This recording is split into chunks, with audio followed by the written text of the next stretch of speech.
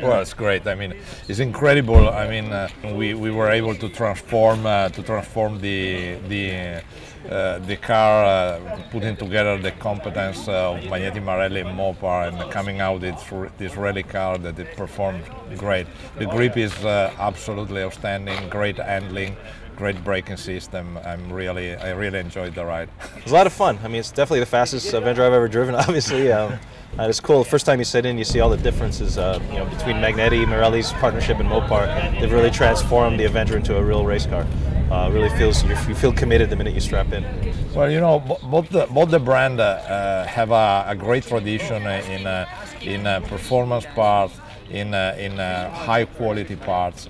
So putting together our forces, we, we, we are working to develop, uh, I mean, uh, a new product line that we will offer in the market. And on the other end, we will also join our forces in performance part to give some fun to our enthusiasts. We have done so many, so many things with uh, the Challenger, the Charger. Um, so we said, okay, let's take uh, one of the cars that we didn't touch yet uh, uh, from a performance standpoint.